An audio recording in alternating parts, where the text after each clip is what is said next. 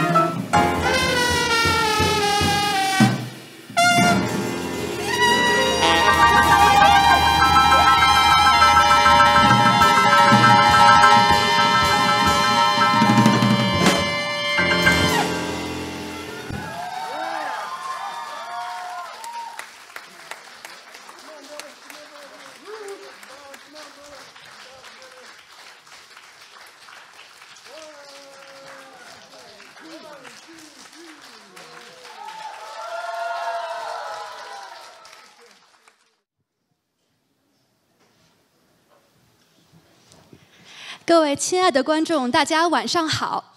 欢迎来到这一期全球青年多位对话之爵士乐自由灵魂的表达对话活动。我是杨丹梅来自中国外文局文化传播中心很荣幸可以主持今天的活动。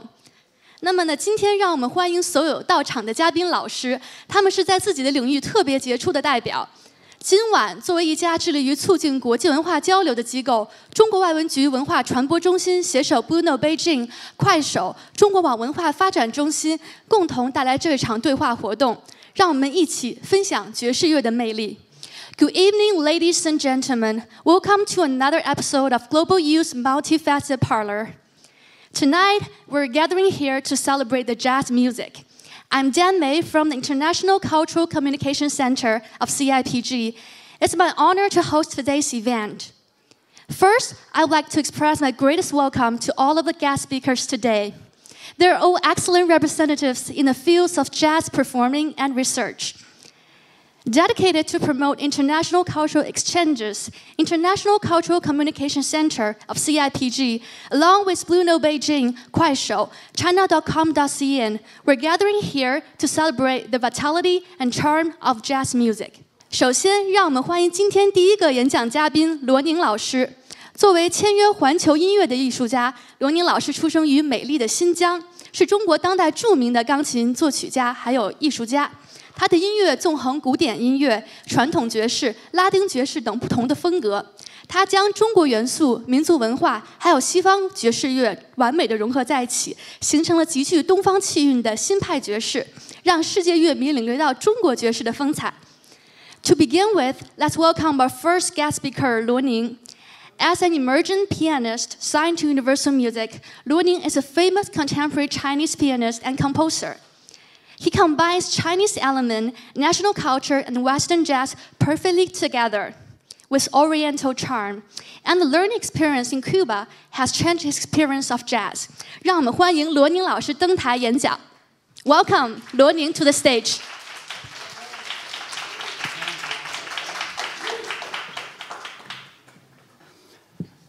嗯，在座的朋友们，你们好。嗯， 我非常愿意与大家共度这个短短的十五分钟啊。嗯，今天的这个含金量还是很高的啊，因为都有很多的音乐家，还有我们的知名的这个有代老师。嗯，是这样的，我呢这几年呢来到 Blue Now，嗯，都是来做演出。今天呢，用演讲的方式站在这个舞台上很有意义，因为呢，自由的海阔天空的与大家聊，我觉得分享音乐艺术才是更有扩展性啊。嗯，嗯我最早呢一直是演奏古典音乐的，古典钢琴。七八十年代初是听不到，在咱们这儿是听不到爵士音乐的啊。即便是广播里会听到，那也是作为一些教材性的、内部资料式的啊，来介绍给大家听众什么是爵士音乐。爵士乐是什么呢？最早给我的印象就是广播里说的颓废的音乐、垮掉的一代。这个这种垮掉的一代，就是说六七十年代那个美国的青年人啊，来介绍这种爵士乐。所以我呢。在那种广播里听到的爵士乐，但是我还是能感受到爵士乐里面的那种温暖的东西啊，还有奇特的和声色彩。后来呢，我接触到了印象派的作品，还有格什温的作品后，包括《蓝色狂想曲》，一个美国人在巴黎，古巴序曲。我现在正好要出一张新的专辑，就是录制的这个古典的这个《蓝色狂想曲》。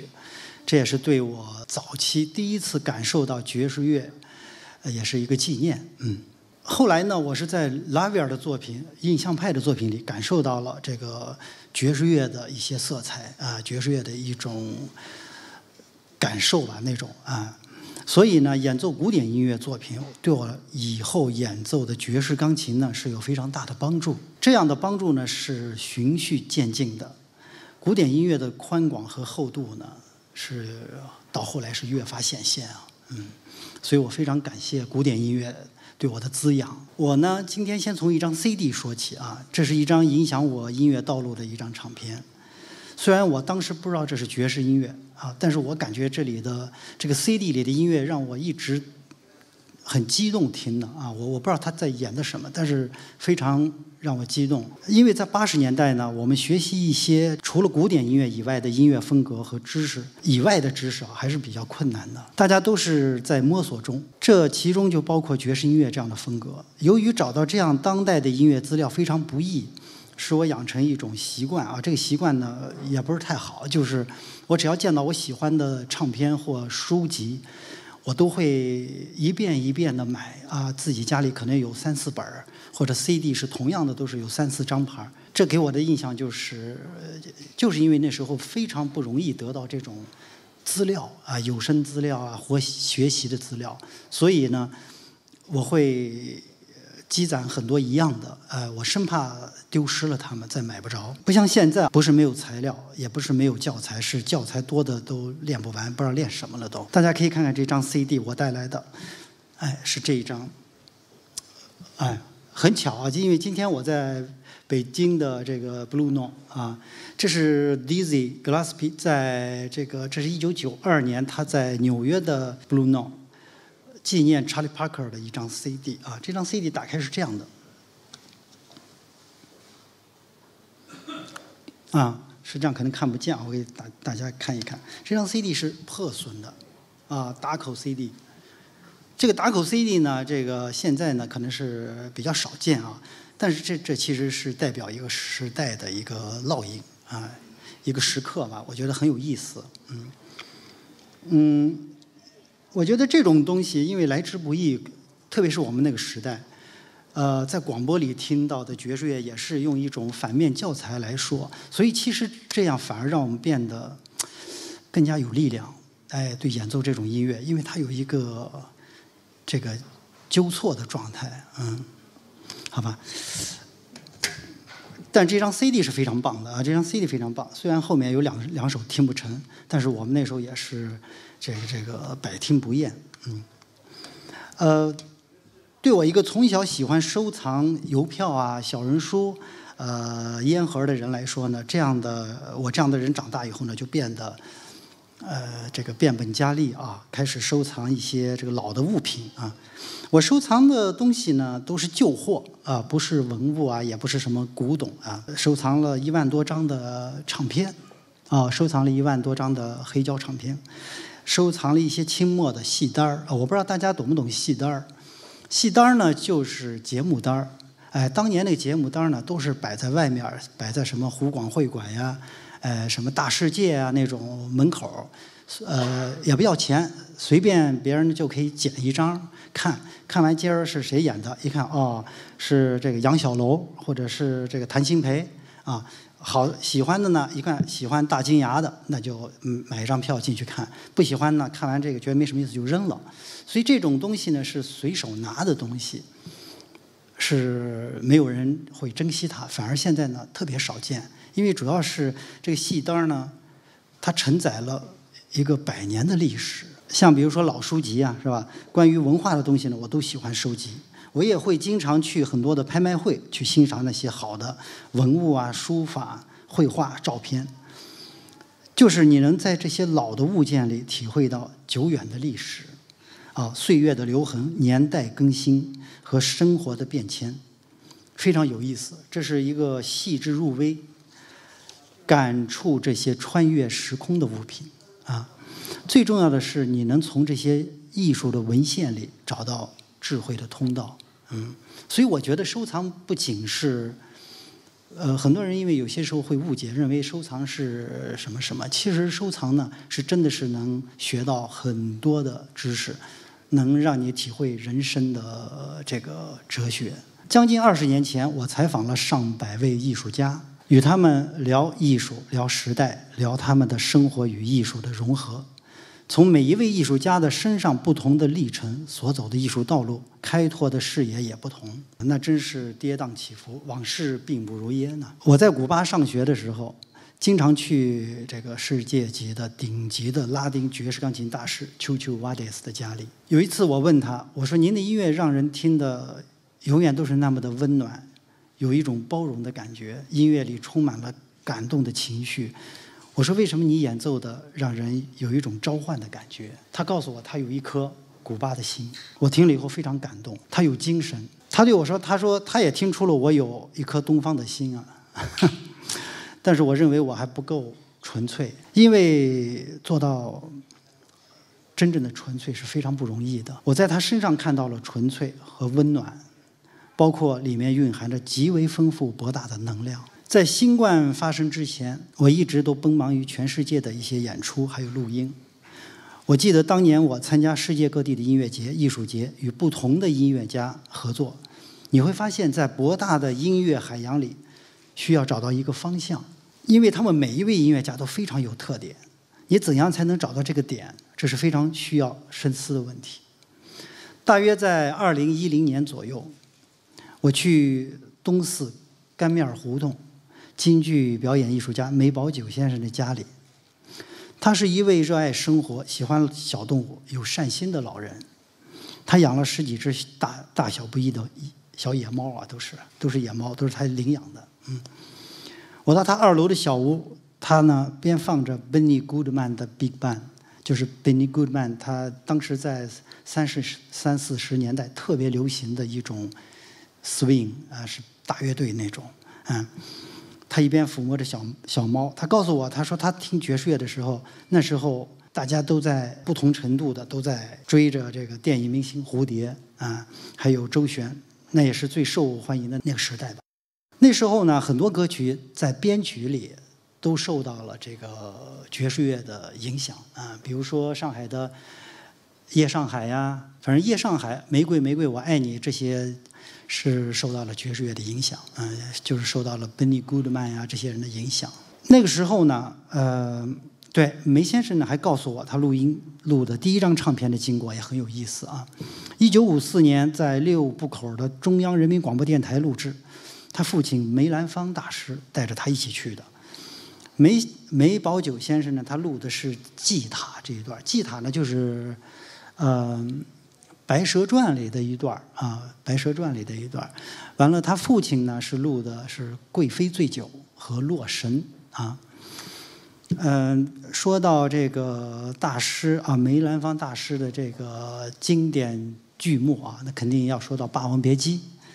嗯，《霸王别姬》的这个故事呢，是讲这个霸王与虞姬当时被那个谁啊，呃，刘邦啊赶到最后那个呃快快不行的时候呢，哎，呃，就这一段戏是跟杨小楼他们一起啊创作的。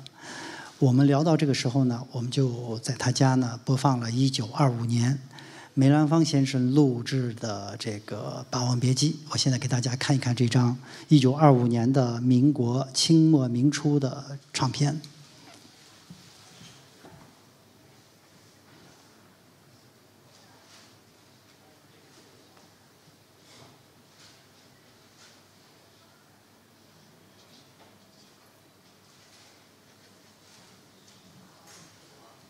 大家可以看看啊。这是二五年的唱片，是这么大的，啊，钻石针儿的唱片，啊，看梅兰芳唱《霸王别姬》，这还有一个是一个民国的，这个这个这是在在收藏，就是我这是在潘家园当时买的，啊，所以呢，这还有人的一个私章，嗯，民国的一个人的私章。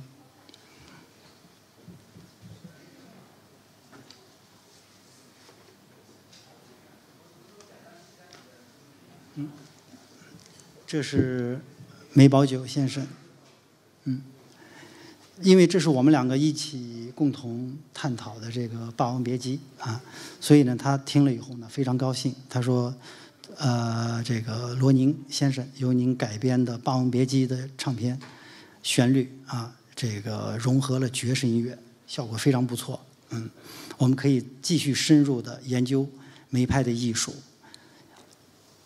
这里呢，他又写了用我们不同的音乐方式和方式，来表达祖国国粹京剧的优美的旋律。梅先生啊，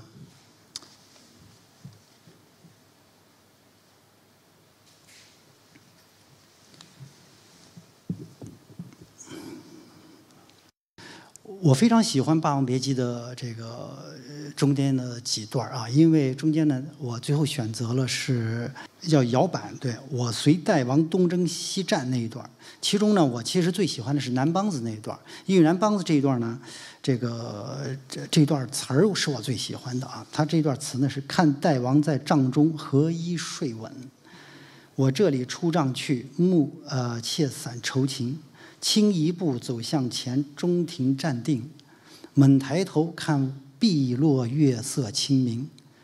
看云敛晴空，冰轮乍涌，好一派清秋光景。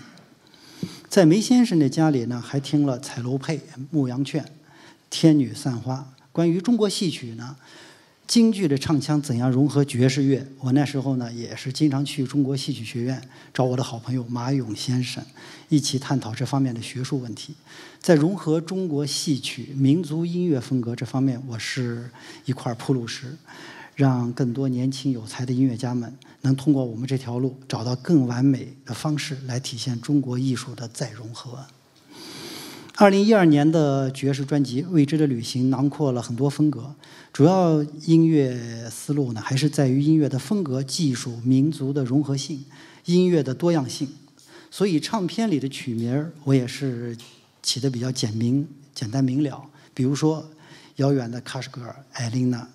还有雨中的单颂，单颂呢是古巴古老的一种节奏啊，叫单颂。玩具熊等等。二零一六年在好莱坞录制的《光与影的邂逅》，由全球著名的唱片公司环球发行啊，环球音乐。这张唱片呢趋于自然，回到了这个本质，在光线里寻找色彩的明与暗，颜色对比的跨度，还有整张专辑偏向偏向于印象派的风格。所以这个，但还是以拉丁 swing 融合为主啊。这张唱片的曲名呢叫《光影的邂逅》，还有《窗外》，还有我弹了这个 Miles Bill Evans 的经典曲叫《Blue in Green》，还有《星光下的 Stella》。嗯，很多年前呢，外媒介绍我，称呼我是东方的爵士钢琴诗人啊。我非常感谢他们对我的这样的称呼。我认为音乐本身其实是有多维度的啊，维度不同，理解不同。东方爵士诗人，我认为更多的是对我创作的音乐理解在于旋律优美、动听、浪漫啊，有一点儿像诗与远方的感觉吧。但是这种理解，我认为其实是一个初步的认识和感受，还是比较表象的，因为。当你慢慢进入音乐的本身，就会发现它还是有斑驳陆离的线条和光。再进入到音乐的内心深层，就会出现另一个深层的世界，是每一个人都有的小宇宙。小宇宙就是每个人的内心世界。说不定什么时候，某首音乐的旋律就会拨动你内心深处的那根琴弦。音乐里有多维度的，也有多层次的感受。不只是诗与远方，还有哲学层面的东西。关于音乐艺术的思考，也是我多年来以爵士乐风格为主，作为一个点吸收综合的艺术。比如绘画的艺术，文艺复兴时期的绘画大师米开朗基里、拉斐尔提香，文艺复兴就是工匠转向艺术家。嗯。他们不断探索自然奥秘、宇宙法则，借助物理和解剖学，使绘画变得更真实、内涵更深刻。随着时代变迁，出现了洛可可风格。洛可可风格其实要感谢一个人啊，就是这个蓬皮杜夫人啊。新古典主义一直到印象派正式的出现在人们的视线里。这个印象派。那大家应该特别熟悉，因为印象派特别流行嘛，是吧？什么梵高啊这些，莫奈的这个呃日出，呃这个睡莲，对吧？还有嗯这个这个这个马奈吧，还有马奈的那个叫什么？这个这个草地上的午餐吧，应该还有啊。呃雷诺阿的红磨坊的舞会是吧？这时候的音乐呢，代表人物就是德彪西和拉威尔。啊，这是我最喜欢的音乐家大师。呃，我深受他们的影响，特别是拉威尔的音乐精致极了，具有东方的色彩。这时候的中国的京剧啊，这时候中国啊是京剧的天下，只要是这个谭鑫培的卖马一唱，街上的人没有不会的，个个都会学唱谭派的几句，这非常有意思啊！大家可以感受一下这时空。一九零几年。印象派的音乐。那印象派的音乐是非常非常有一种冷的东西，然后有色彩斑斓的东西。但是这个时候呢，到中国呢是京剧啊，很有意思。京剧啪都是这这个卖马呀，都是这个，因为谭鑫培是这个大师啊，是李莲英啊、慈禧非常喜欢的大师，所以他也是在这个宫廷里啊叫内廷供奉，哎，是领这个宫廷的银两的。嗯，我现在让大家看一看最珍贵的一张唱片啊，是一九零八年的，已经一百多年前的这个唱片，谭鑫培的这张唱片，就是最受欢迎的这个《卖马》。我还得戴着手套。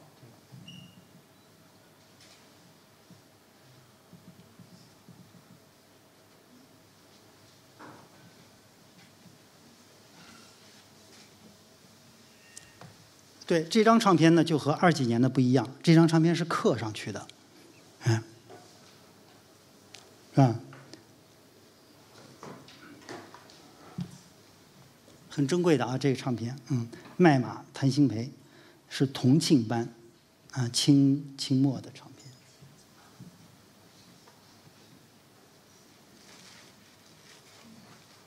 我们再继续往下说啊，这个再往后呢，可能就是这个马蒂斯吧，啊，野兽派，啊，其实我今天讲的这些，大家都回去可以，呃，去这个画廊呀，去去哪儿去研究一下，很有意思啊，全世界的各种各样的艺术啊，马蒂斯的野兽派啊，呃，还有康定斯基的点线面抽象的艺术啊，这些都非常有助于音乐的构思、创作和演奏。还有建筑设计啊，建筑设计呢，就是美国典型的洛克菲勒的建筑啊。呃，因为我在纽约，呃，很多年前我是每年都在那里住住三四个月啊，所以洛克菲勒的这个建筑呢，在纽约是非常普遍的啊。他那个时候呢，就是爵士时代，爵士时代就是洛克菲勒那个时代，就是爵士乐、爵士舞，还有服饰也是爵士乐的，那女女女的都是那种帽子啊，一种状态。叫爵士时代啊，呃，包括德国的这个鲍豪斯啊，鲍豪斯这个建筑，呃，这个这个现代的建筑，还有法国的科皮西耶的著名的建筑大师啊，给世界遗留了很多经典的建筑群啊建筑。我去马赛，法国马赛参加这个马赛的爵士国际爵士音乐节。还去了这个著名的马赛公寓，对马赛公寓。我专门去这个顶层的露天咖啡馆买了杯咖啡，坐在那里望着那个海中央有一个孤岛，那个孤岛呢就是当年关拿破仑的地儿啊。所以我给大家讲了这么多的这个纵向、横向的东西，我希望能能给大家一些想象力啊。中国的文化呢和艺术也是非常博大精深的啊。除了上面咱们提到的京剧，我个人也非常喜欢宋代的绘画啊，因为宋徽宗有关。因为宋徽宗呢就是集书法绘画集大成的艺术家，他又是皇帝，所以宋代的绘画书法艺术都处于当时非常辉煌的时代啊。到现在这个历史长河看宋代的这个，不管是这个家具。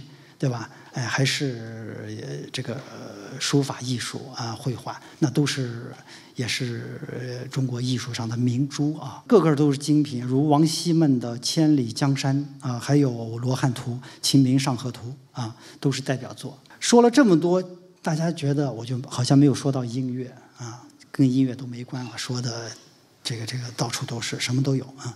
其实这才是我们每一个音乐的工作者需要具备的一个。综合的文化文化底蕴，因为当你的视角、眼界、思想通过哲学、美学、人类学、宇宙观来观察，那你创作的音乐、演奏的音乐，也会有非常大的能量和蕴含着无数的智慧。嗯，二零二零年初，我们所有人都在家里工作，大家都知道发生了什么。病毒影响了整个世界。我的朋友，著名的爵士音乐家沃斯罗尼，也被染上了病毒，离开了我们。有一天早晨啊，我这个收到一个微信，一看是崔健大哥给我发了一微信。我我当时一看，我都不敢相信。他说沃沃斯罗尼好像去世了，嗯，他就是得了新冠。所以那一段时间，我我我相当震惊，嗯。我想作为一个音乐的传播者，我必须要写一首公益作品，而这首作品出发点就是用另一个视角回望地球。嗯，这让我想起了1990年《无尽的宇宙》里，旅行者一号即将飞出太阳系。大家知道吗？这太阳系到现在没有一张照片，因为因为无法拍到太阳系是什么样的啊，都是咱们看到的图片都是想象出来的。呃，旅行者一号呢，调转机相机拍下了太空飞行史上最具代表性和最令人难忘的照片，那就是称为淡蓝色小点的照片儿。在太阳系外围看浩瀚太空中的地球，是一个单一的亮亮蓝点的像素啊，像素像一像一类微尘。卡尔萨根说过，在这个微尘上，有你爱的每个人，有认识的每个人，你听过的每个人，他们都在这里生活。所以我觉得人类呢是非常渺小的，但是他又那么伟大，通过自己的智慧发现、发明，使自己慢慢强大。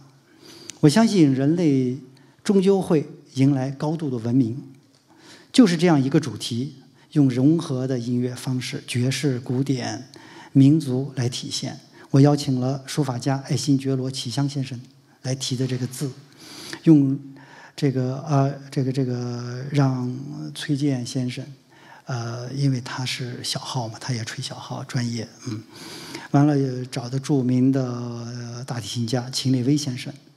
还有录音师杨正先生，我们共同录制了这首《呼吸的延续》公益音乐。最后由摄影师杨卓远制作成 MV 短片，全球发布。我们作为一名音乐艺术的传播者，就是把自己对世界的感悟、对人生的感悟，用音乐的语言告诉所有的听众。我希望我创作的音乐不是简单的，只是让大家觉得好听、舒服，或者是浪漫，或者是放松。我的音乐呢？是非常细致敏锐，是有一个世界的。只要大家能认真的去感受，自然就会进入到一个奇妙的一个通道里。我希望我的音乐是给予所有人温暖和纯粹，还有最重要的就是智慧，让听众体会到真正的自我世界，感受自己的能量。所以我二零一六年录制作品《东方素描时》。里程碑式的人物，爵士贝斯的大师 Ron Carter，还有 Mac Turner，他们都分别对我说：“我们很喜欢你的音乐，也需要你这样的音乐，因为我们写不出你这样独特的旋律与和声、色彩、线条。”我想这是一种鼓励啊，因为他们真的是爵士乐的大师级的人物们，嗯，他们很谦虚，嗯，他们鼓励我。不过我想了一下啊，因为我们有东方的哲学思想，就像太极，啊，所以我们有工商交趾语，所以他们特别喜欢这种不一样的音乐体系融入到爵士乐，丰富爵士乐。这就是我对整个音乐的感悟，是来自一切艺术的综合。就是我说了，我说今天说到了这么多，其实全是几十年的修为，所有的修为，所有的综合美术。绘画、建筑，一切一切，嗯，全部综合在我的音符里展现出来。所以对我来说，爵士乐其实就是一种精神。我现在为大家弹奏一首经典的乐曲，以结束我今天的演讲。谢谢大家。好，呃，我我今天为大家演奏一首大家非常熟悉的，因为爵士乐呢，大家经常能听到我演奏。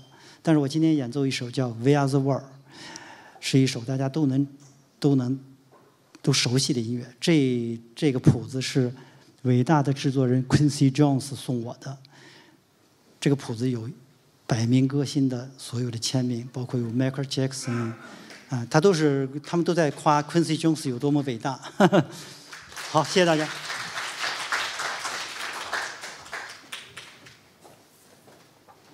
就这个谱。你不要直播所有人音乐家的签名。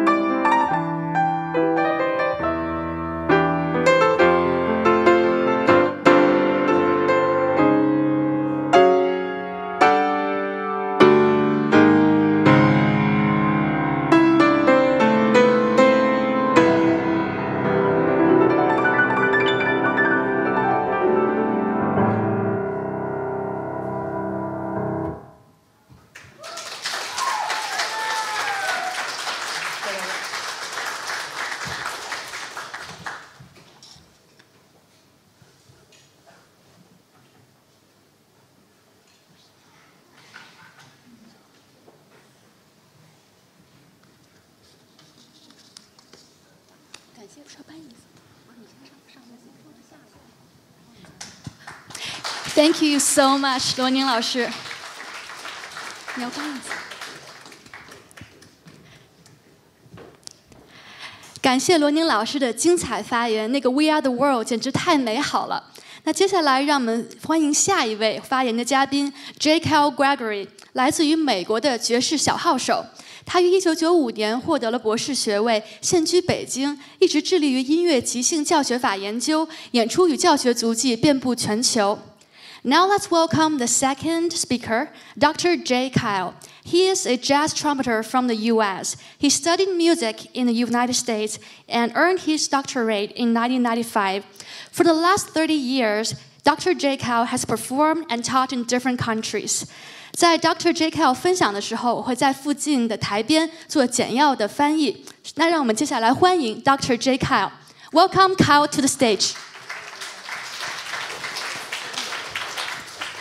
Yeah, here we go. Wan Chung Hao. Hello, everybody. So, my uh, jazz life is too long uh, to tell everything there is to tell. 我的爵士人生实在是太长了， So, I, I just want to tell you a few little stories from my life, and then I want to talk about the lessons that are most important to me from the world of jazz. 我想讲讲我的爵士人生，还有我所学到的一些人生课程。 So my, my jazz life started when I was 11 years old. 我十二岁就开始了我的爵士人生。 So when you're an American boy, and I grew up in Indiana, which is kind of in the center of the USA. 我在美国的中部印第安纳州长大，那时候还是个十一岁的小男孩， not so far from Chicago. 比较远哦，离芝加哥不太远。 Well, when you're 11, just like in China, you start middle school. 那时候我还是在中学，十一岁的时候。 And uh, part of middle school is you choose in America if you have if you want to be in the choir singing or if you want to play in the band. 那时候你可以选择去合唱团或者去乐队里演奏，比如说大乐队之类的。 And in those years, uh, I thought the choir would be full of girls, and so I didn't want to be in the choir because I just like playing with boys. 因为合唱团里有太多女孩了，我觉得我不要跟女孩玩，我要去 男孩的那些地方。 Now I'm, I'm really tired of playing with boys. I just like to hang out with the girls. 现在我已经厌倦与男孩们演奏了，我只想跟女生们玩。 Um, but uh, anyway, so I chose the band, and I wanted to be a drummer. So the first day I came in, I said to the teacher, Can I play drums? A lot of boys want to play drums, right? 当时我想当呃打鼓，然后我跟老师说我想去当鼓手。 The teacher told me, uh, I'm sorry, Kyle, we have too many drummers. You have to choose something else. 他说太多鼓手了，你得选别的乐器。 So I went home and I asked my dad, uh, who was a school teacher, I said, Dad, they told me too many drummers. What should I play? 然后我回家问我爸，我呃我跟爸爸说，呃老师说有太多鼓手了，我应该选哪个乐器呢？ And he said, Why don't you play the trumpet? 然后我爸说为什么不选小号呢？ And I said, Okay. That's how I became a trumpet player. 这就是我如何成为一名小号手的缘由。 The first thing that I loved about the trumpet was not how it sounded. I didn't really know so well what it sounded like. 呃，我喜欢小号的原因，并不是因为它的声音，我当时不知道这个声音是怎么来的。 The first thing I loved about the trumpet was that it was shiny, very shiny. 我喜欢小号的原因呢，是因为它真的非常的充满着光泽感。 so I had a brand new silver trumpet, and when I, I remember, you know, because I only I was an 11 year old boy, I had little plastic cars that I played with that were the most expensive toys I owned, and now I have a silver trumpet. It looked like a piece of treasure. 当时呢，我只有那些塑料卡车玩儿。对于一个十三岁的小男孩来说，一个银色的、充满光泽的小号，简直就是奢侈品。 But after playing the trumpet for one year, I, I fell in love with the sound of the trumpet. 但演奏小号一年之后，我就爱上了它的声音。 And one uh, a weekend, we went to visit my uncle who lived in Washington, D.C., and he loved jazz music. 然后我就去呃拜访了我的叔叔，他在华盛顿 D.C。然后呢， And he asked me, Hey, Kyle, so now you're playing trumpet. Who, who are you listening to? 他问我 Kyle，你现在开始演奏小号了，你在听谁的东西呢？ He said, Are you listening to Miles Davis? 他说你在听 Miles Davis 的作品吗？ And I said, Miles who? 我说 Miles 是谁？ Because I didn't really know any jazz trumpet players. 我不知道这个小号手是谁。 So, based on what my uncle told me, I started listening to Miles Davis. 从那以后，我就开始听 Miles Davis。 And after a year of listening to Miles Davis, I loved Miles Davis and I loved jazz music. And I knew at 12 years old that I wanted to be, for the rest of my life, a jazz trumpet player. 呃，自从听了 Miles Davis 一年之后，十二岁的我就决定以后终生都要成为一名爵士小号手。 So I, I thought that if I become really good, I will be rich and famous. 我说，如果演奏的足够好的话，我应该非常的有钱，并且有名。 Okay, so now I can tell you, 48 years later, I'm not so rich, I'm Sis- not so famous, but I'm a very happy jazz trumpet player. 四十八年以后，我虽然并没有名利，但是我是一个非常快乐的小号手。 And, and actually, I, I wouldn't trade places with anybody for the life that I've been able to live through jazz music. 我不愿意有另外一种人生。 So, my teachers changed my life. 我的老师改变了我的人生。 My first teacher at middle school, it was her first year as a teacher, and she would give me all the lessons she could after school without any payment, just because she wanted to help me, and take me to concerts and feed my passion for music. 当时我还是高一，然后在课后，老师无偿的教我音乐，呃，用美丽的音乐知识来喂养我当时的心灵。 So in, the, in those years, as I got into high school and I started listening to more jazz music, I had to f- listen. That these were the pre-internet days. Remember, those days existed. Cell phones didn't exist. the internet didn't exist. We listened to records like that 1925 record. Those are the kind of things I listened to. So we uh, listened to records. 后来我上呃继续上中学的时候呢，当时还没有互联网，我当时就是听那些唱片，就像刚才那个展示的1925年的这种老唱片。So when I was in high school, I would mow yards uh, with an electric or no gas gasoline mower. It- It's a machine that you cut grass with. So I would, could mow a yard. My family had a mower that I could use, and I would mow the neighbor's yard, and they'd pay me five dollars to mow their yard. Take me about one hour of pushing the mower. 当时我帮邻居除草一个小时，他们给我五美金。 And if I once I had five dollars, then I would get on my bicycle and I would ride a half an hour into the center of the city to the record store and I would buy a new jazz record. 当时我会骑半个小时去买唱片， And that's how I spent all my money. 这就是我花光了所有的钱的原因。 I didn't have really many girlfriends because uh, they knew that I wasn't very interested in them. 呃，当时我并没有交很多女朋友，因为他们知道我对他们不感兴趣。 So I just spent a lot of time with the trumpet. 我就和我的小号度过了漫长的时光。 So of course, you know, you realize that that when you hear a jazz musician, the secret life of any musician, it's not it's not mostly this life we have on a stage, right? It's all that time we spend alone with our instruments. Thousands and thousands and thousands of hours. 所以你们看那些音乐家的秘密人生，其实不是在台上，而是他们与自己乐器所度过的浪漫的漫长的时光。 And usually we, we love practicing, you know, but we, we get tired too. Sometimes we don't feel like it. In fact, that happened to me this afternoon. so I was going to do some more practicing that uh, I was feeling so tired I didn't do. 有时候我也会觉得很累，然后比如说一个下午，我也会就逃避练习。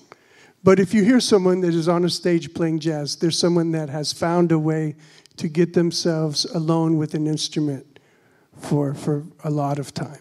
但是当你听台上的那些音乐家弹奏的时候，你就知道他们和自己的乐器绝对是度过了很漫长的时光去练习。 So when I started college, I, I studied jazz music. And I met my wife in a music group when I was in college. 当时我上大学的时候呢，我就遇到了我的老婆，她也在一个音乐社团里。 By, by the time I met my wife, I understood how important it was to learn to enjoy being with girls.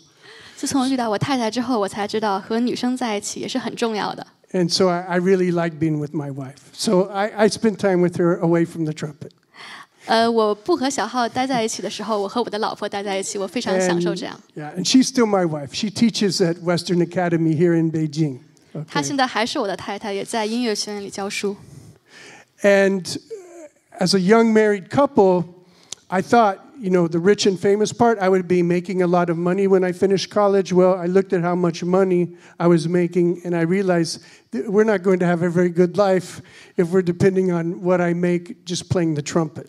呃，我毕业之后呢，发现自己其实没有多少钱，然后也并不能过一个很富足的人生。 So I went back to college again, and I got a graduate degree in education, and eventually I became a music professor. 然后我就再回去读研究生，然后最后成为了一名音乐教授。 And that's when I discovered the joys of teaching jazz music.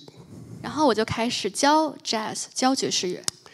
And because I had such wonderful teachers, they, they gifted me with a lot of beautiful things to share with my students. 呃，因为我有很好的老师，所以他们教会我如何教授我自己的学生。 And so I've had the privilege, I've had the privilege of teaching. Uh, I lived for 14 years in Italy and played and taught all over Europe.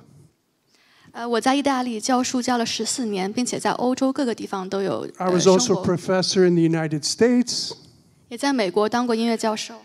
And uh, one day, after I had moved back to the USA in 2012, because my three kids uh, were getting ready to go to college, we moved back to the USA. I got an email from a teacher of mine.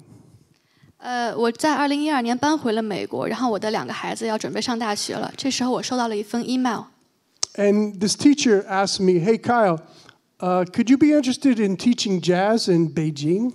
然后呃，一个老师问我，Kyle，你愿不愿意在北京教爵士乐？ And my first thought was, Beijing? 我的第一印象是北京，真的吗？ And I went to talk to my wife and see what she thought about this possibility. And I thought she would say to me, Kyle, look, we've traveled enough. I'm tired. I just want to stay in the USA. I'm sorry, but because also we have to make this decision together. I, s- I thought that she would tell me, wow, that may be a great opportunity, but we, we can't do that. 我当时以为我的太太会说我已经很累了，游历这么多国家，我以为她会说不。 But she surprised me and she let me know that she was, she was ready for another adventure. 但是她竟然愿意跟我开启新的一段旅程。 And that year also, our children had, they had left, they all three had left to go study at college. 那时候我的孩子也都去上大学了。 So five years ago, I had the, the opportunity to move here to Beijing. 呃，五年前我就搬到了北京。 I didn't know, I was here by myself in the beginning. 一开始我谁都不认识， Uh, I didn't know any Chinese. 一点中文也不懂， I didn't have any friends. 也没有朋友。 I remember wandering into the grocery store trying to buy an onion. I didn't know what I was supposed to do. Am I supposed to weigh it first? Am I supposed? So I just brought the onion to the cashier. 我当时买洋葱的时候不知道该怎么办，是称一称还是给谁吗？然后我就去了柜台。 But I found the Chinese people here in Beijing. They welcomed me. They were very friendly to me. And my life here has been a wonderful experience because of my relationships with Chinese friends and other friends from around the world that live here in Beijing. I'm so glad that my wife and I decided to come and live here in Beijing. 呃，然而北京人民是非常善良的，我也跟他们结下了非常好的友谊，我也很感激能够来到北京生活。 And there's a very beautiful thing that's happening in Beijing right now. 现在呢，在北京有发生非常美妙的事情。 Uh, my wife and I live in Sanlitur, 哦，我跟我的老婆住在三里屯， and right now there are six, six different places that I can walk to from my house where we play jazz. 呃，我可以走路到六个有爵士乐演奏的地方。 And that never before has happened in my life. And it's happened here in Beijing. 呃，在我生活的前些年呢，从来没有发生过这样的事情，但是这却在北京发生了。 And we have a beautiful, he- a beautiful community of, of musicians here, 我们在对这里有一个很美好的音乐社区， including the brothers that you see tonight from many countries. 包括今天的嘉宾老师来自不同的国家。 But the thing, another thing that I so much appreciate about jazz is the value that I've learned, the values that I've learned from jazz, and the way that we treat people. And you may know this, but in the jazz tradition, we call each other brother and sister, right? 我很珍视爵士乐里这种珍视彼此的感觉，我们都叫彼此兄弟姐妹。 So typically, when I see one of these guys, I'll say, "Hey, bro, what's happening?" 当我看到这些嘉宾老师时，会说：“嘿， Or- 哥们儿，怎么 Yeah. 样？” Hey, sister, what's happening? 对，Hi Hello，呃，姐们儿怎么样？ And it's, it's a part of our tradition that we make space for one another because we value what every individual, their, un, their unique contribution to the world. 这是因为我们珍视每一个个体对于社会的独特贡献。 So I'm very honored to have the opportunity to talk to you uh, tonight. Thank you for coming. And I want to conclude by playing a short little song that's one of my favorite songs. It's by a pianist named Billy Strayhorn, and it has a lovely title. The song is called A Flower is a Lovesome Thing. 我要以演奏一曲小号来结束今天的演讲。A flower is a love something。 Thank you.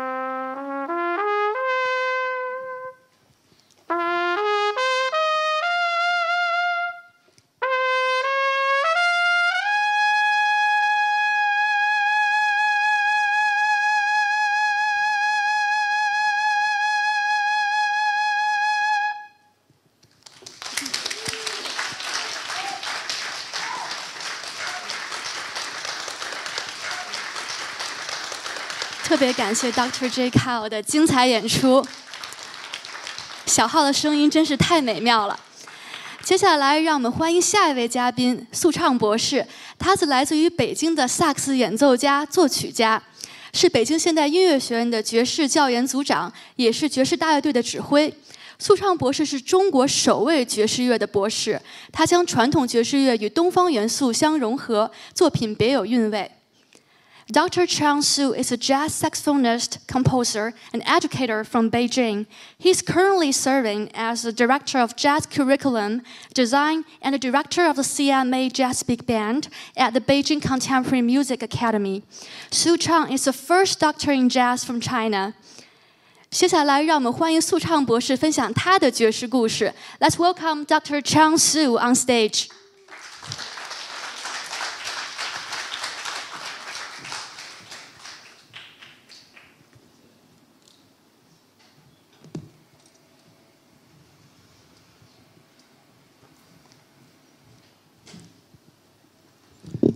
们换个风格。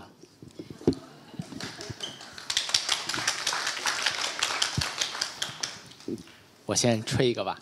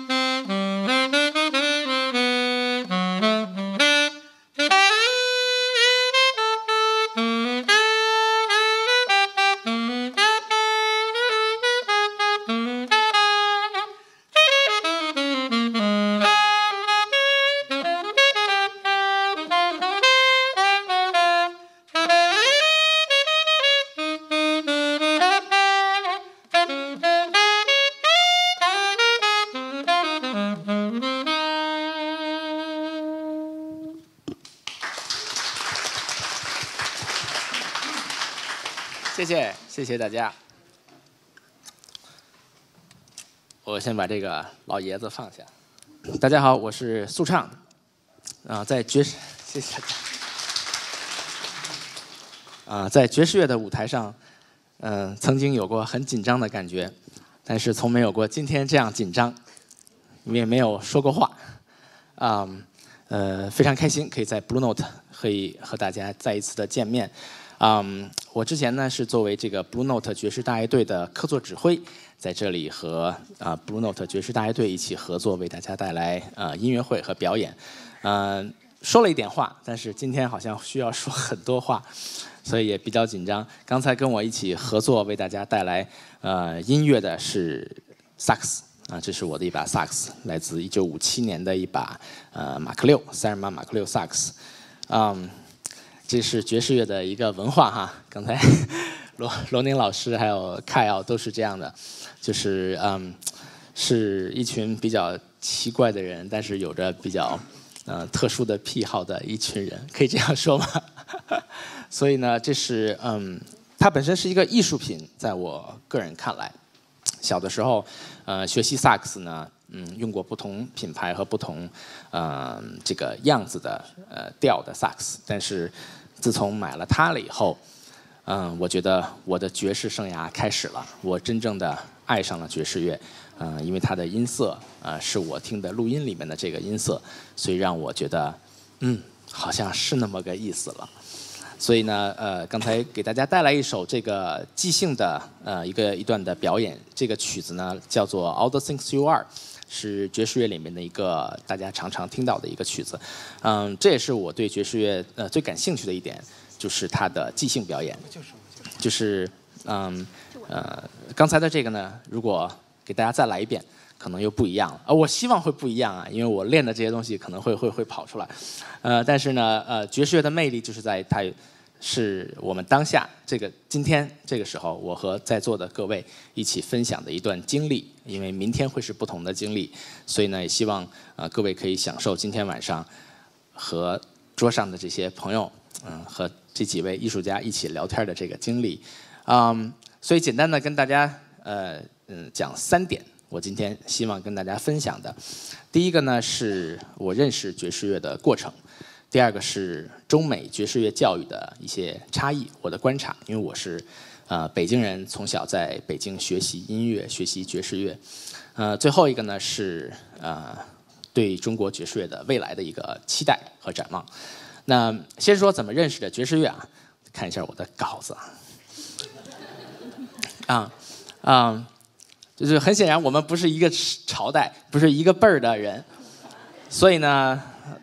他们都是我的老师，啊，这个呃，Dr. Kyle，这个 Kyle 呢是我去美国读书的那个学校的校友，只不过我们刚才在聊，我们两个相差了三十年，啊，然后我在出国留学之前的一段非常黑暗的日子，就是学英语和准备出国的这个过程的一年里面，每天都在。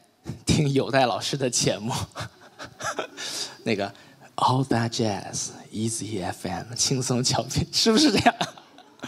所以在零七零八年的时候，如果各位有听爵士乐的话，嗯，应该有代老师应该能够回想起来那那段日子，嗯，然后包括罗宁老师，也是我小的时候一直在看这个，也不是小的时候，我上大学的时候，不然显得他们太老。呃，我在大学的时候很喜欢听这些。中国的爵士音乐家，因为那个时候网络不是很发达，你能找到就是能查到的，就只有几位，其中就包括罗宁老师，啊，所以非常的开心可以今天在这里遇见几位老师，啊，所以这个是我一开始呃学萨克斯嘛，从小学萨克斯是跟这个呃老一辈的这个萨克斯演奏家陆廷权先生学习爵士乐的萨克斯，那小的时候嘛，就是觉得。嗯，我我是受我爸爸影响比较多。那父亲节的时候，在 Blue Note 爵士大乐队呢，跟大家分享了一个小故事，就是我爸爸当年跟我说了两句话，给我提了两个要求啊，伟大的父爱啊，各位参考一下。第一个，学好英语；第二个，吹好萨克斯，啊，就造就了中国第一个爵士乐博士。谢谢谢谢。嗯，所以呢，不是我很有这个天赋或者很努力，只是我很幸运，嗯，能够踩着前辈的肩膀上往往前更走，多走了一步，完成了学业。那呃，非常的感谢我们上一位呃给我的这些影响，教我爵士乐。所以这是我小时候学习萨克斯。那学习萨克斯呢，肯定要学习爵士乐，因为呢，这个我的老师呢有一个理念哈，到现在也很有争论，就说嗯，在古典音乐的世界里面很少听到萨克斯，因为萨克斯是一九八几年呃一八六几年才有的这个萨克斯嘛，所以呢，这个萨克斯呢并不出现在古典音乐时期，还有浪漫主义音乐时期，所以在我们很多听的这些交响乐里面，海顿啊、莫扎特啊、贝多芬是没有萨克斯的。那萨克斯听到最多的当然就是爵士乐，因为在爵士乐的年代，就是二十世纪的时候，是萨克斯的一个黄金的这么一个时期。我们听到很多很多伟大的萨克斯演奏家，啊，都出现在爵士乐的这个风格里面。当然也有古典的作品啊，所以学习萨克斯对于我了解爵士乐，嗯，是很大的一个帮助。那呃，我大学的时期呢，组建过一支爵士大乐队，应该是在零六年的时候，叫玩味爵士乐队。各位有兴趣可以去搜索一下，啊，唤起你们的青春啊，对大学的那种那种的感觉，一下就回来了。嗯，所以呢，我们在大学里边演爵士乐呢，我们去周边的几个大学巡演，啊，就是嗯，我是首都师范大学的，那别的学校的这个联谊会哈，就如果大家回想一下。就是女生多的学校是和男生多的学校，比如说首师大和北邮，北京邮电大学，啊和理工大学这种大学会有这种联谊会，然后呃我们就是这个女生堆里边的那几个男生，啊所以我们特别的受宠，啊然后我们组了一个爵士乐队，所以呢爵士乐队在我们学校里边呢给他们的就是造就了一个我们是方方大同，就是我们是明星的感觉啊，就十二个人。全部穿着一身黑，并排走在那个学校的广场上面，让人家觉得哇，这帮人好酷啊！你们一定都是，你们是不是都不吃饭的那种？结果出了学校南门，看见一帮大男孩穿着一身黑，蹲在地上一排吃打卤面，啊，这就是我们的大学生活。呃，我们觉得爵士乐居居然可以受到这个大学生们这么大的这个受众啊，就是很很喜欢很喜欢。我们当时演奏的曲子也都是。嗯，美国三十年代的这种摇摆的这种音乐，他就发现，嗯，这是一个潮流的东西，对吧？就是我们喜欢这些音乐，一定是他们不是上一代的音乐，对吧？就是不是我爸妈听的一对，所以这个是我们喜欢的一个潮流，这给我来讲是一个很大的鼓励、鼓舞。然后呢，嗯，接下来呢，我就是说去看一看吧，我喜欢的这个音乐的，嗯，大师们。啊，在北京的这些乐手们，他们演出是什么样子？我就去北京的那时候有一个叫 CD 咖啡，啊，在这个农展馆，然后看到现在在北京还在演出的这几位老音乐家们去演出，然后呢，我就觉得好厉害啊，真的好厉害！从技术上啊，从音乐上，很多我没有听过的音效，特别是在零七年我去参加这个呃北京九门爵士节，我不知道各位对这个还有没有印象？啊，爵士乐的忠实粉丝应该还记得啊，就是由这个贝斯手黄勇老师哎，这个创立的九门爵士节，去听到这个当时的这个爵士大乐队，我觉得哇，这个和声色彩，就是当时我也不知道这个叫和声色彩，我就觉得这个东西我没有听过，我觉得这个这个声音很奇怪，但是觉得又莫名其妙的感觉很厉害，对吧？这个四个字叫什么？不明觉厉啊，不明觉厉。然后我就说，那我一定要去美国好好学学这个爵士乐，因为美国是爵士乐的发源地嘛，我一定要给它弄明白，就到底这东西是什么。然后我就开始呃准备，那这时候就开始听有代老师的 All That Jazz，就是一点五轻松调频。然后呢，这个去学跳舞，学这个 Lindy Hop 这个摇摆舞，就是想要自己来一个沉浸式的爵士乐的学习。然后去美国读书，读了研究生，读了博士。读完研究生的时候呢，就觉得。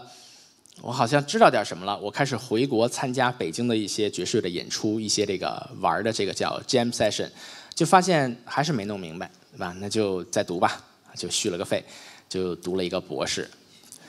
对，续了个费啊，嗯。然后读博士的时候，这期间呢，我发现这个其实我要能学会哈，我觉得大家也都能接受哈，慢慢能学会。然后我就开始带领这个学校的爵士大乐队和老师。到国内来巡演，普及一下爵士乐教育。我们走访了这个大江南北的这个音乐学院呀，这些培训机构啊等等，还有俱乐部。那呃，普及爵士乐，那这个呢还给我取得了一个荣誉，在美国这个呃爵士教育界啊还拿了一个小奖。所以呢，我觉得爵士乐在中国的发展是非常有可能的，而且潜力是巨大的，因为它是一个年轻人喜欢的东西，所以这是嗯我认识到了这个爵士乐。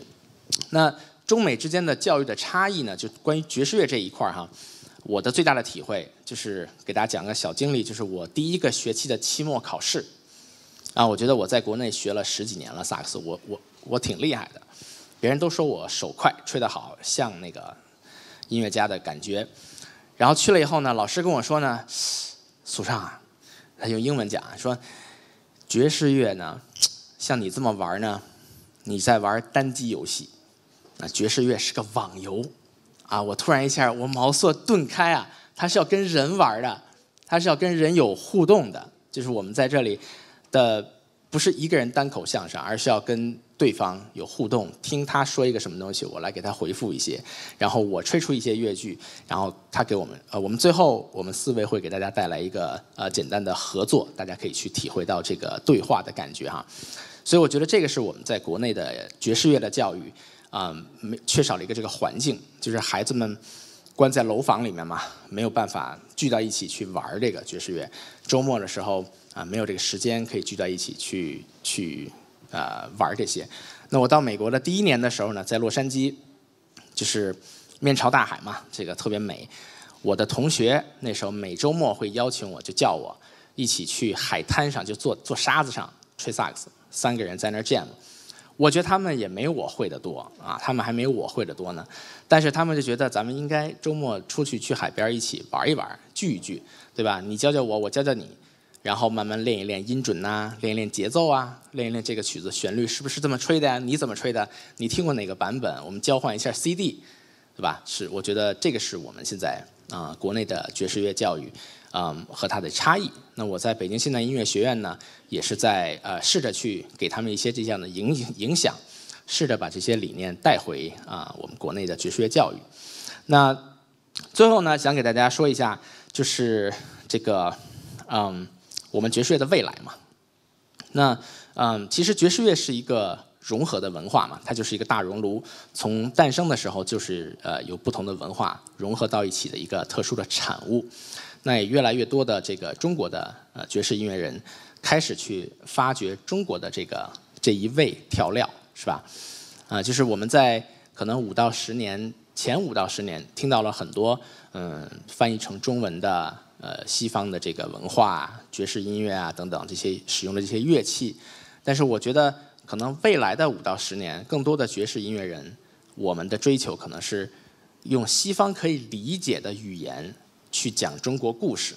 我不知道大家能不能理解这个，就是西方能够理解的和声、节奏、律动，然后去带来我们中国的这些元素和文化。就像刚才罗宁老师讲的这些古诗啊，这些。音的韵呢，这个是西方人觉得非常有魅力的东西，啊，所以这也是我们的一个民族自信可以融合到啊音乐中。那呃，我有一张专辑叫做《追梦》，是我在美国那个读博士毕业之前录的一张大乐队的专辑，里面有一首曲子，呃，各位可以去 QQ 音乐啊、网易云啊去搜一下，叫《中山公园》，还有这里是北京哈，这两首推荐大家听一下《中山公园》，也就是在中山公园里边。这个九门爵士节的这个这个场景哈，你可以想象一下，就中山公园这个地方，晚上九点以后是没有灯的，它和八百年前那个明明明什么祖朱棣那个时代八百年前是一模一样的，对吧？树也是那时候种的树，你一抬头，只有月亮和那个那个那个角楼的那个那个兽，哎，就是很穿越的感觉。但是旁边居然在演爵士大乐队，所以我觉得这个太有意思了。这个应该是很独特的一个文化，所以呢，我就写了这么一首歌，致敬这个中山公园，就叫中山公园。各位有兴趣可以去搜一搜。啊，那呃，最后一个呢，想跟大家分享的就是，如果你喜欢爵士乐，你在北京生活，你太幸福了，你太幸运了，对吧？我们有和纽约一样的爵士乐的氛围，每天都有爵士乐的演出，只要你愿意去看。每天都有 jam session，就是给乐手的交流的一个平台。然后最后呢，我们还有这么好的观众，是吧？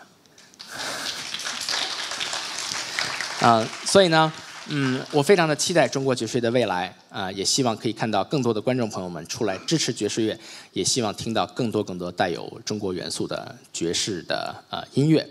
那感谢各位来到 Blue Note 参加我们今天的活动。那我的部分今天就到这儿了，谢谢大家。谢谢思畅博士的精彩发言。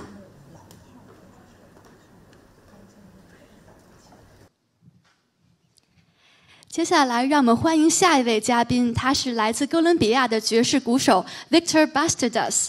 作为一名爵士鼓手，Victor 呢曾在纽约录制过两张专辑，还在芝加哥录制了一张唱片，叫《拉丁美洲旅行者的故事》。他目前任教于北京现代音乐学院。Victor Bastadas is a jazz drummer. As the director composer of his own band, he has recorded two albums in New York and one album named Tales of a Latino American Traveler. Now let's welcome Victor Bastadas on the stage. 让我们欢迎 Victor 上台发言。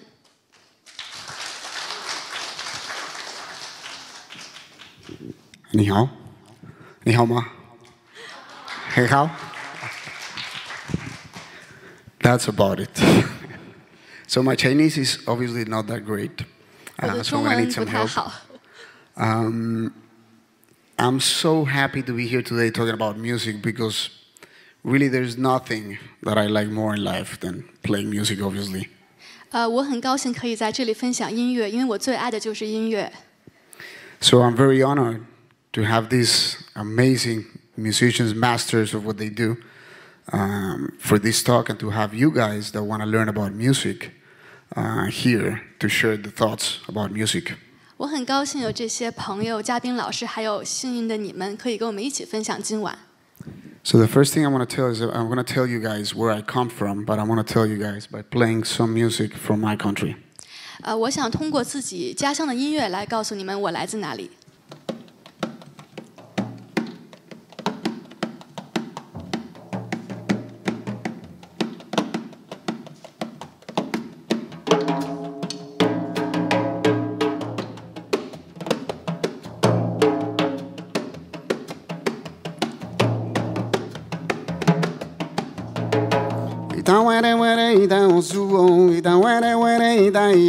oja gini wa ida ya ida were were ida ya ida were were.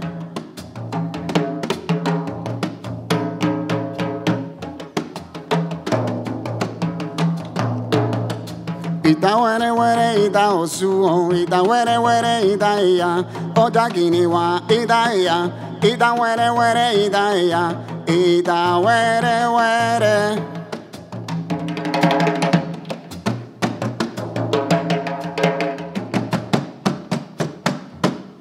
Ita were were ita osuo ita were were ita kini wa ita iya. Ita were were ita iya. Voy conmigo con uno y currulao para traer arrullador. Y con mi alegre y llamador soy huyerengue y soy folclor.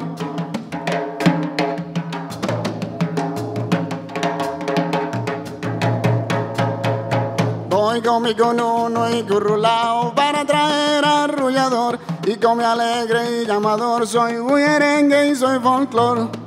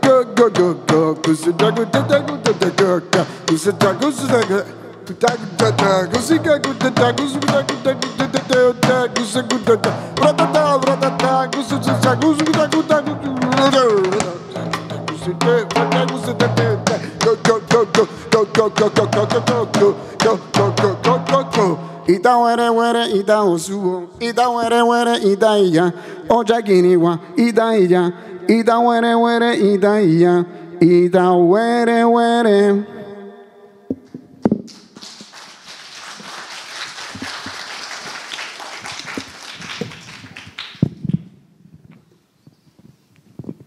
So, I guess my story is very similar to Kyle, to Sushan, to Luaning, in the sense that um, we were curious kids, I guess, and somehow we ended up listening to music, and there was something fascinating about music. 呃，当我们真正来倾听音乐的时候，音乐中有许多吸引人的部分。 In my case, nobody in my family is a musician. I didn't have musician friends. I didn't go to a school that has a strong music program. But my dad loved his records. And I was very happy to see somebody pull some records because that's how I got in love with music. 呃，我的家族里没有人是学音乐的，但是我的爸爸非常喜欢听唱片，所以我就是这样爱上音乐的。 So my dad was a very interesting character.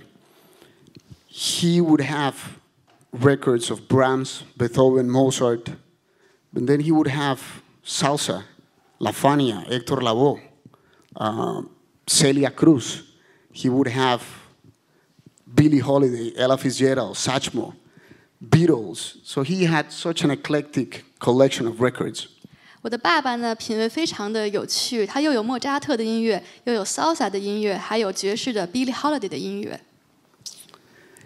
And I remember he's sitting in the living room and he's conducting the London Symphony with a whiskey on his right side, and he's the happiest man on the planet. 我爸呢，坐在客厅里听着一个交响乐的音乐，他就是世界上最快乐的人，喝着 whisky。 So I'm looking at him, I'm like this, and I'm, why is he so happy? 我就在想，他为什么这么快乐？ And then that was one of the first things that made me realize the importance of music. 这就是我呃意识到为什么音乐如此重要。 So I became very, very curious about music. And then when I was about seven, he gave me a small keyboard. 呃，我就对音乐非常的好奇。七岁的时候，他给了我一个小键盘， No music lessons, no nothing, just a small keyboard. And then I started writing my own songs. 什么都没有，只有一个小键盘。那时候我开始写自己的歌曲， Probably they were pretty terrible, but I was writing my own songs. 虽然可能有些不太精妙，但是那也是我自己写的。 And um, I spent some time like that. Then I had some music lessons. And then I had a really important person coming to my life, which was my first drum teacher. He was not a jazz drum teacher, he was a rock drummer, right? 我的第一个鼓的老师呢，其实不是爵士鼓手，是一个摇滚的鼓手。 So we started having some lessons. And after maybe the fourth lesson, he came with a tape and he says, Go listen to this drummer. I went home, and all of a sudden it was Chick Corea with Roy Haynes. 呃，他当时给了我一个磁带，说这是 Chick Corea 的作品。 So I, what is this? I've never heard this before. I like what these guys are doing. And kind of like what Kyle said, I realized I want to be a jazz drummer. 这时候我就很好奇了，然后就想我要当一个爵士鼓手。 Now, the only problem is I'm from Colombia. There's no jazz schools in Colombia. There was no jazz clubs. There was no jazz happening anywhere. It was very unique to me. There was not a jazz culture anywhere. 那时候哥伦比亚就是一个爵士荒漠， So I did what I could. Basically, I got as much uh, records I could, and I started learning from the records. 呃，当时我尽我所能去学习呃不同的唱片。 And um, after practicing for two years, I was practicing maybe about 12 hours every day. 我每天练习十二个小时，练了两年。 and driving my neighbors crazy. 让我的邻居非常的愤怒。 Then I got a scholarship uh, into a school in Miami. 呃，然后我得到了去迈阿密的一个学校的奖学金。 Now, the rest is pretty much what happened to all of us, I guess, which is hard work. 呃，其实捷径呢并没有捷径，其实就是要努力的去练习。 The beautiful thing about this music is that it needs so much work. 呃，音乐的美妙之处就在于它需要非常多的努力。 And very often we got people coming to us and saying, Man, it's so cool. You go on a stage, you guys play whatever, and then you get paid. It looks so fun. 有人过来跟我说：“哎，你演完然后就能拿到钱，这么容易的吗 Now, what happens on a stage when we have a jazz band is what should happen in society in general, which is we listen to each other. And because we have worked so hard with a lot of discipline, we try to be respectful to others and tr- we try to embrace others.？” 呃，但是我们在台上演出并且得到尊重，是因为我们付出了极大的努力。 Usually, when that doesn't happen, we make sure that whoever is not doing it gets to know it. 如果没有发生的话，我们也会让它过去。 Because the main thing about this music is not the freedom that it has, but is the power to communicate in between the people on stage. 最重要的是要和台上的人互相交流沟通。 Now, sometimes I see that one of the reasons that you know the modern society has all these problems is because we don't listen to one another and um, we are not as sensitive as we should. Um, and this is one of the beautiful things about music. It makes us aware of other people, of being respectful and being sensitive. 现在社会存在很多问题，有些时候是因为我们不聆听彼此，呃，并不尊重彼此。但是音乐美妙的地方就在于我们对彼此都保持尊重。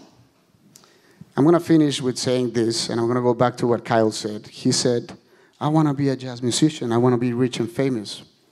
When I was a kid, when I, well, actually, when I was a teenager, and I decided I want to be a jazz musician, the first thing that came after that decision is I said, you know what? I'm okay with being poor, but I'm going to be happy. And that changed everything that happened after because I took all the pressure of society out. And I'm just gonna do my thing at my pace.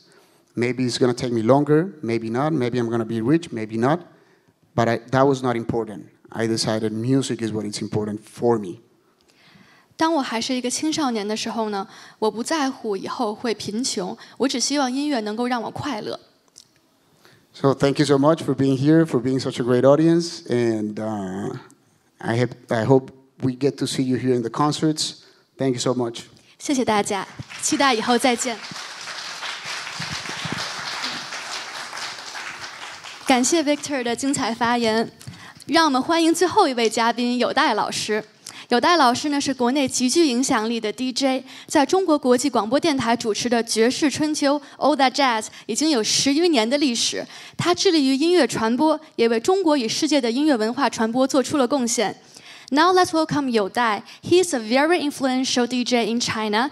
He hosts a video a radio show All That Jazz for more than 10 years. So now let's welcome 有代 to the stage. 让我们欢迎有代老师。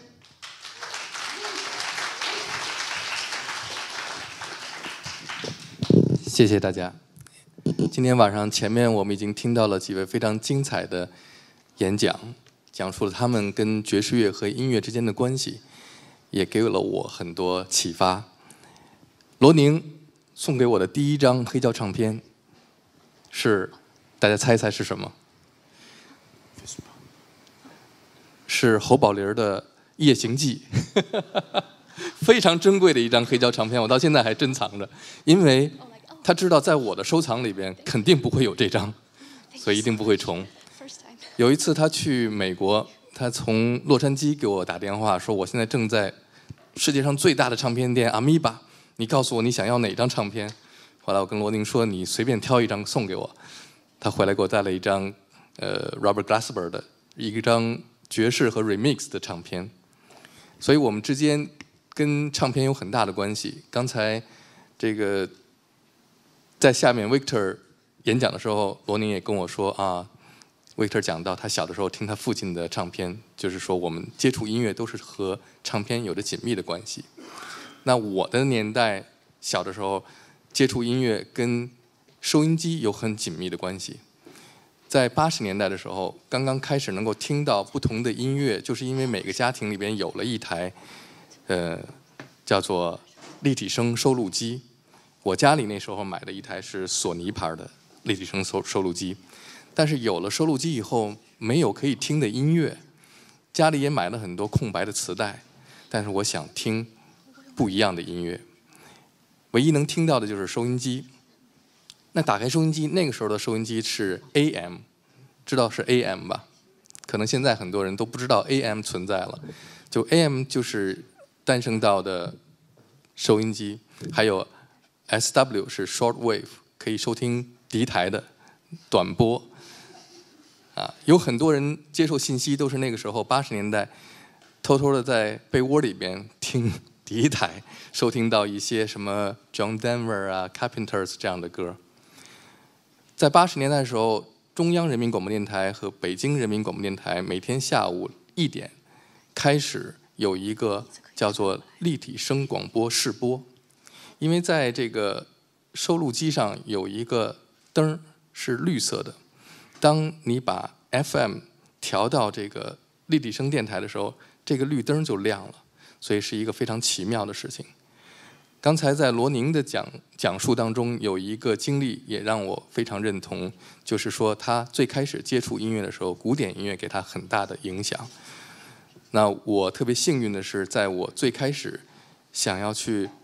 听到不同声音的时候，没有别的途径，唯一能够听到不一样的声音，就是那个时候立体声广播试播的时候，他们播放的那些古典音乐，莫扎特、柴可夫斯基、贝多芬，还有很多。因为什么呢？因为他们在播这些音乐的时候，第一个是立体声，第二个是中间没有人说话，所以我就把那些家里的空白的磁带都录成了古典音乐。然后我初中的那些同学到家里来，看到我有那么多磁带，说我借一盘磁带回去听。然后我说你看吧，然后上面写着贝多芬、莫扎特，他们就非常惊奇，说你怎么听这样的音乐？因为在他们听的可能都是邓丽君啊或者什么这些流行歌曲。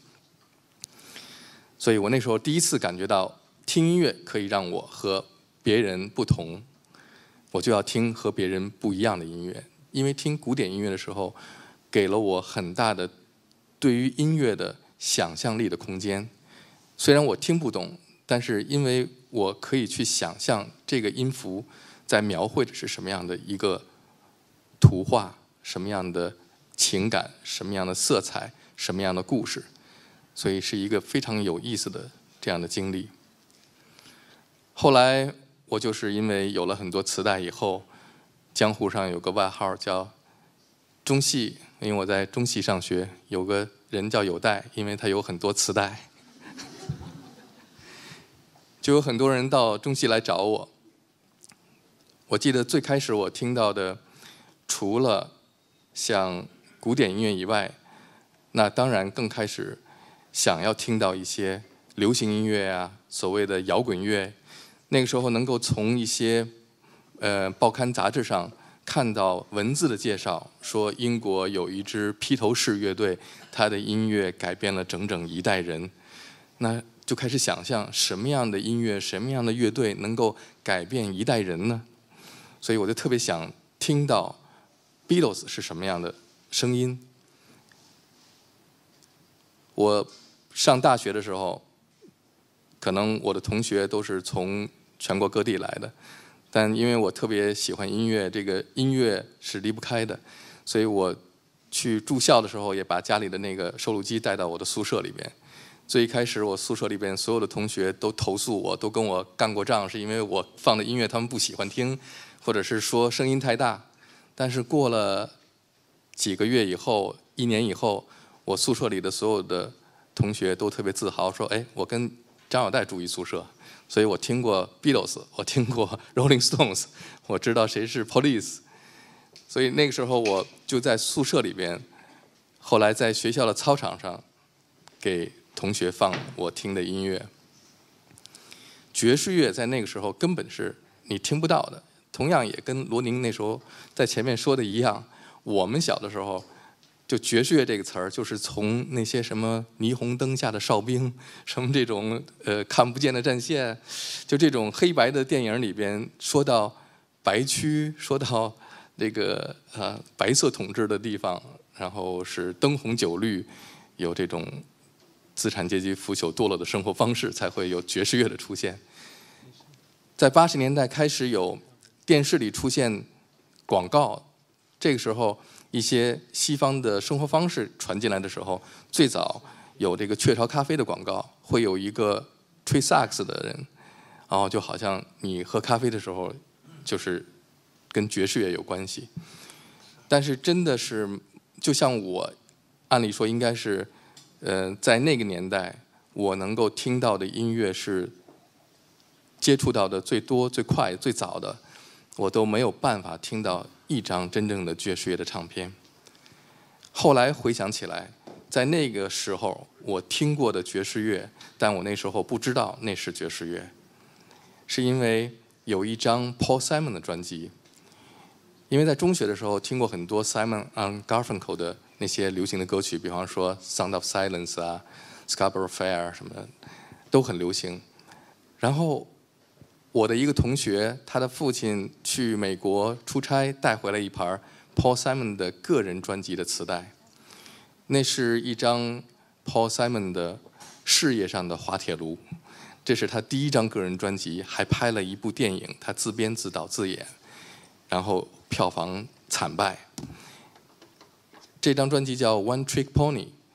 那那个时候呢，也正好 Paul Simon 他是他的个人生活也遇到了跟他的。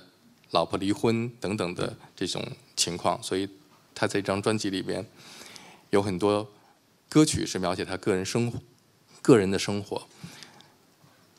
我最开始听到这盘磁带的时候，因为那个时候没有别的磁带可以听，虽然一开始我不太喜欢这盘磁带，因为听不出它到底是什么风格，但是因为我每天听、每天听，所以这盘磁带里的每一首歌都特别熟悉了。很多年以后，我知道爵士乐以后，我才知道。原来那张专辑和 Paul Simon 合作的乐手都是当时最优秀的爵士乐手，像 Richard T、像 Steve Gadd 这样的伟大的音乐家。所以那张专辑里的音乐其实是跟爵士乐有着一点点关系了。还有在八十年代的时候，我们听到的，比方说中国人都知道 Wham 威猛乐队，那威猛的主唱 George Michael 他的第一张个人专辑 Face。那张专辑非常流行，但是那张专辑里边有一首歌，在我第一次听的时候就觉得它跟其他的音乐都不同。后来我才知道，那首歌是 George Michael 用爵士的和声和爵士的钢琴写的，叫《Kissing a Fool》，你们都可以去听一听。所以爵士乐进入你的生活的时候，有时候可能是你还不太意识到，啊，这就是爵士乐。但是后来你会去了解，其实爵士乐早就在你身边出现。然后我是怎么真正的了解爵士乐的呢？是我大学没有毕业，有了第一份工作呢，是中央人民广播电台有了一个节目，那是中国的第一个国家电台里边介绍欧美流行音乐的节目，叫《外国音乐一小时》，是每星期天的早上八点。早上九点到十点，这个节目呢是一个美国人，他的公司，他的名字叫做 Kenny Bloom。如果你知道中国的摇滚乐崔健的第二张专辑《解决》，那张专辑的制作人和录音师就是 Kenny Bloom。他那个时候呢是一个人从美国到中国来，想要做啊关于文化交流的事情，所以他去。中央人民广播电台说：“我们来合作这么一个节目。”他那那个时候，他的公司叫 KB Communication。第一个月呢，他们请从美国请来一个制作人，因为当时啊，做这个节目，电台里边都是要第一个先要把呃播放的歌曲挑选出来，写所有的串词儿，然后再把所有的歌词交到他们的领导那儿审查之后，再由红云老师知道红云老师是谁吗？就是专门播新闻的，像念新闻一样播出来，然后再去合成。所以那时候，这个美国人干了一个月以后就不干了，就辞职走了。所以他没人干这件事儿。然后 Kenny 就问中国谁能干这件事儿呢？然后可能是崔健跟他说：“你去中戏找一个叫有代的人。”然后他去中戏找我的时候，那时候我在中戏，每个周末我都会做中戏的舞会，周末舞会。我那时候用磁带来放音乐，大家跳舞。然后有一个美国人突然站在我身后，我放一首歌的时候，啊，这是 Peter Gabriel。我再放一首歌，啊，这是 Sting。所以后来我放完之后，他说，他跟我说，他说，You are DJ。我说是什么意思呢？他说，I give you a nickname，我给你一个外号，你就叫 DJ，因为他读不了我的名字。然后给我名片，说你就到我的公司来。他那时候的公司在城市宾馆，就是现在的潮酒店。我在那儿，Kenny 是一个萨克斯手，他自己热爱爵士乐。然后他开这个公司呢，办公室。他的卧室在旁边，然后中间是办公室，办公室里面都是当时的一些流行音乐的 CD 来做这个节目的。在他的卧室有几张他自己听的爵士乐的唱片。我每天去那儿准备节目的稿件啊什么，就他跟我说，这些 CD 你可以随便听，但我卧室的 CD 你不能听。所以他不在家的时候，我就偷偷进去把他的那个 CD 拿来听。里边有 John Coltrane，有 Sonny Rollins。所以他后来知道我偷听他的 CD 以后，他说你喜欢爵士？我说对对对，我说我想知道爵士。他后来跟我说，你需要去认识一个人，这个人你必须得认识，因为当时在北京有很多在北京的外国人，有一个外国人美国人，他在北京整天无所事事、游手好闲，因为他老婆是在大使馆工作，他是家属，所以他过来陪着生活，但是每天没事儿干。Kenny 认识他以后呢，他说，就是他特别热爱爵士乐。Kenny 说：“你去有带你去找一下他。”我就去找他了。他领我去他们家里边，住在齐家园的外交公寓。进到他的客厅，客厅的沙发周围一圈全部都是纸箱，纸箱里满满的黑胶唱片，全部都是爵士乐。我当时都吃惊了，因为 Kenny。就是我这个老板，他老跟我做一个游戏。就我今天上班了，到办公室，他放一张 CD 到他的 CD 机里边，Tell me who is this？然后他一放，我必须得马上答对。我说这是 REM。OK，good。OK，这是这 Police。但是我就想，那些爵士音乐，我偷听的 Kenny 的那些爵士的唱片，我什么时候也能一听就知道这是谁演奏的哪一首乐曲？在哪一张专辑里边？因为对我对于我刚听爵士乐的时候，感觉好像听不出什么特点，或者是哪首乐曲能够我能够认出来，像听摇滚乐那么明确。然后我就看到我这个美国朋友，他叫 Art，看到他的所有这些宝藏的时候，我就想，我能不能把他的这些黑胶唱片都听一遍，我就可以了解爵士乐了。Art 跟我说，他是在美国是做。爵士乐电台节目的，所以呢，他来中国的时候就把他所有的那个黑胶收藏都运到了中国。然后我就想了一个主意，因为当时呢，在北京音乐台还没开播，是一九九一年初的时候，我说：“那 Art，我们来一起做一个电台的爵士乐节目怎么样？”他说：“可以呀。”这样我们就一起做了第一个爵士节目，也是中国的最早的电台爵士爵士节目，叫 Jazz Train，爵士列车。每一期节目的开始播放的是 Duke Ellington 的《Take the A Train》，节目结束的时候是放的 Miles Davis 的《Time After Time》。所以这个节目播了两年以后，我就把他的所有的黑胶唱片都听了一遍，然后我就认识了爵士乐。今天那个时间很短，我要讲我的故事，就是一说起来就会很长。所以如果你有机会，一定要去听我现在的电台节目。你想从一九九一年。到今年一共有三十年了，我一直没有间断的做电台的爵士乐节目，是因为我觉得每一个城市应该有一个属于这个城市的声音。广播是一个非常有魅力的东西，它跟任何都不一样。虽然现在有网络电台，但是广播它是一个在空中无形的，你可以跟很多人在那一刻同时聆听一个声音，而在广播里的声音才真正是像这个城市的脉搏一样。所以我希望大家在每天晚上十点收听我主持的 All That Jazz。我相信这个声音才是属于这个城市的。我昨天晚上做的今天晚上的节目，因为我现在每天不是做直播，有人一直以为我是做直播，但是我可以告诉你这个秘密：每天晚上就是凌晨的时候，我会在我家里的录音棚里边准备第二天的节目。对于我来说，我听过的所有的音乐都跟爵士乐有关，所以我才那么热爱的去做一个爵士乐的节目。所以我不局限在爵士乐里。今天的节目就特别特特殊。一会儿你们十点去听一听。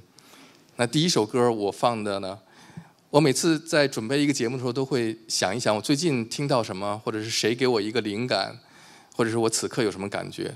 最近有人跟我聊天聊聊他特别喜欢八十年代的一个英国女歌手叫 Sade，所以呢，我觉得流行歌曲里边跟爵士乐有很多有意思的关系，所以我放的第一首歌就放了 Shade 的 Smooth Operator。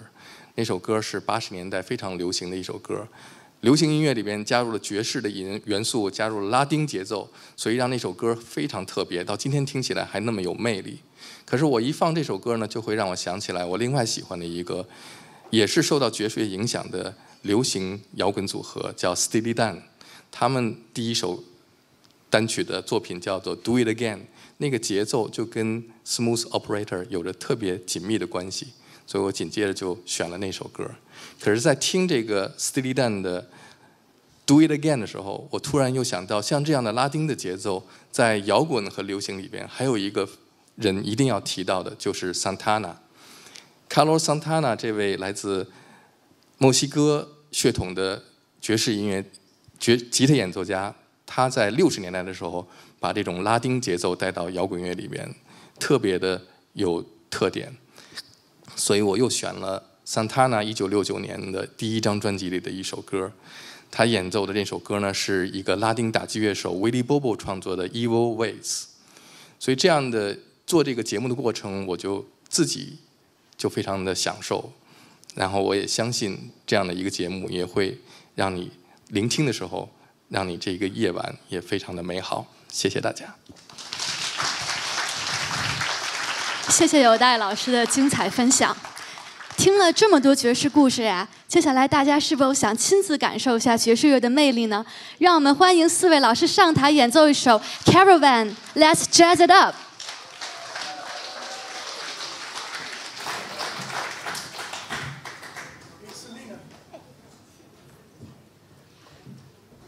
Translate one more thing for me. OK， Okay. Can I get this mic? 呃呃，昆 Hello. Okay. Just want to say one more thing. Um, we always talk about jazz. The meaning of jazz is freedom. 呃，爵士的意义是自由， Uh, I like freedom. 我很喜欢自由， Uh, everybody likes freedom. 每个人都喜欢。 But what do we mean by freedom? 但是什么是自由呢？ Um, just one final thing I wanted to say is that uh, it's taken me a long time to understand.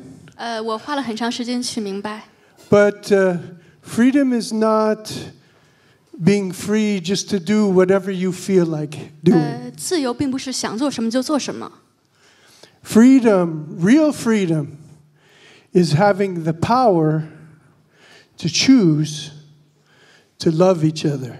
真正的 That's real freedom. 真正的自由呢，就是可以去选择，去爱彼此，去选择喜欢的事情。 And that's what we do through our music. And so that's what you're going to hear right now. We're going to love each other. We're going to love you through this music of Duke Ellington. Brother Luoning on piano. Applause.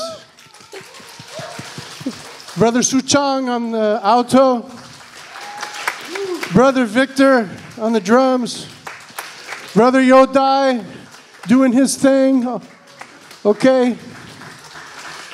And I'll try to do mine. Okay, thank you. 谢谢大家。 「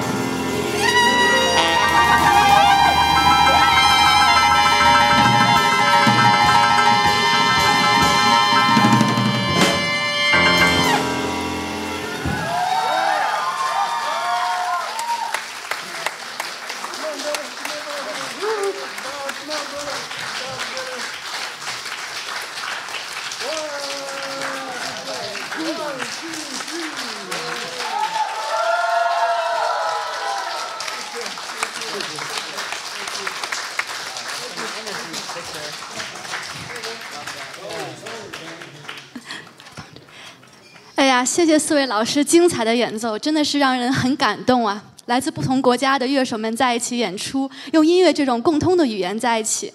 那感谢各位老师，今晚我们共同聆听了许多精彩的爵士故事，让我们体会到呢，爵士音乐是一种文化，它不仅仅是娱乐，更是通往灵魂的一扇窗。